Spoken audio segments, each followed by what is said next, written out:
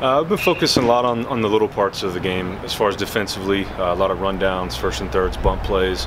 Uh, you know, primarily it's going to come down to pitching and defense. So, been concentrating our pitchers getting out there, uh, making quality pitches, and then making the plays behind them.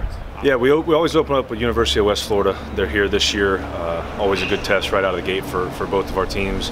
Uh, the next weekend we go to University of North Georgia, who was uh, you know in the in the championship last year. You know, a, very very good team. I don't know what to expect out of them this year, but I'm sure they're going to be good and, and they're going to be ready to go from the get go.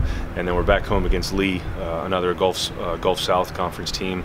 I never played them before, but glad we got them on the schedule. And you know, playing those type of teams, I, I, I think prepare us for what our conference has to offer. You know, there's our conference, like you said, it's tough. There's not an off weekend. Everyone, you know, everyone can can beat anyone on any given day. So you got to be prepared when you play. Yeah, coming back uh, offensively uh, with Omar Villeman, Austin Maurer, uh, Cody Burgess, and getting Logan Browning back. You know, decided not to sign in the draft is huge for us. Those are kind of the key parts from last year's lineup.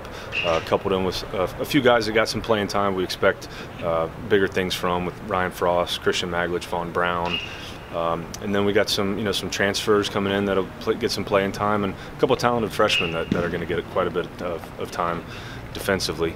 Uh, on the mound, uh, the two biggest pieces back are, are, Logan, as I mentioned, and JT Henson, who had a really big year for us last year. It's, it's tough to replace what we lost with, with Jake Walsh and Cam Hanes and Tyler Knowles just to name a few.